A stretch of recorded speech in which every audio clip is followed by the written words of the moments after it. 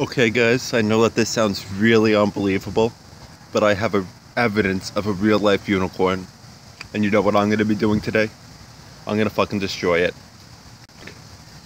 This is probably going to blow your minds, but I've been telling people about this shit for months and everyone's been saying there's no fucking way, it's fake.